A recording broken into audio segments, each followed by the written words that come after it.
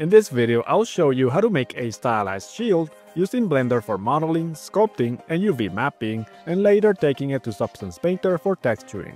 Along the way, I will be showing how to make the low poly model as well as the high poly, bake maps in Substance Painter and bring it all together into Blender with a simple lighting setup.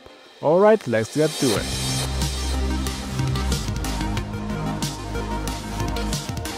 The first step was to import a reference image of a shield. In this case, I was using a very simple shield reference that I used to get the main shapes.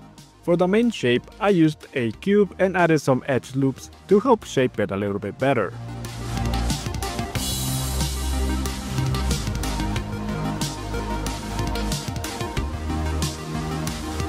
To get the angular shape of the shield, I selected the center vertices and moved them forward while having the fall-off amount enabled. I duplicated the main shape and used that to get the metallic frame of the shield by deleting the inner geometry and later giving it thickness.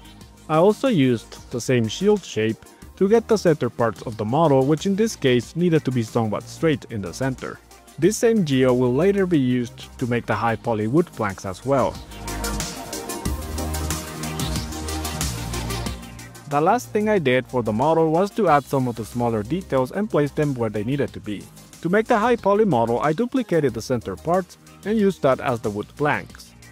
I deleted unnecessary geo so that it would fit appropriately. I also applied a bevel and subdivision modifier to make it more high poly.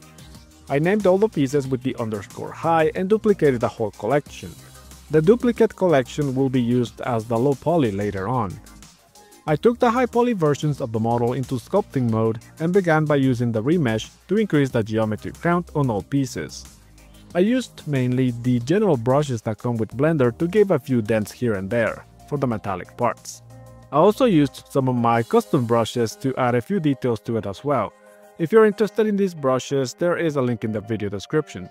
I did a pass on all metallic parts before moving on to the wood planks. After doing a pass on the metallic parts, I started to add detail fibers on the wood planks to give it that stylized wood look. Something I recommend when sculpting wood is to make sure that you don't have too many straight lines and give the fibers some variation by having them go across the plank.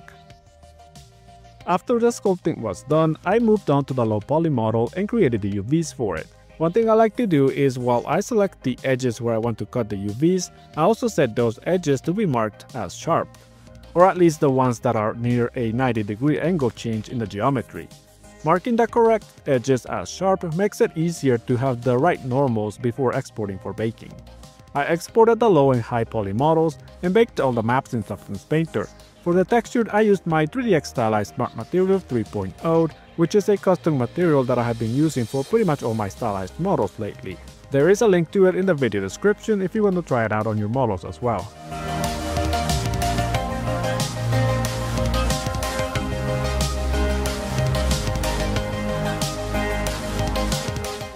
I exported all the textures and in Blender I assigned a new material and those textures to it. I added a few lights to make the model look more interesting as well. This is what the shield ended up looking like. If you want to see the full video uninterrupted, please check the links in the pinned comment or the video description. All videos are posted without interruptions through my Patreon and website. If you like this video, feel free to check out some of my other videos in the channel, and if you have any future suggestions for videos, feel free to do that in the comment section. Thank you all and I hope to see you in a future video.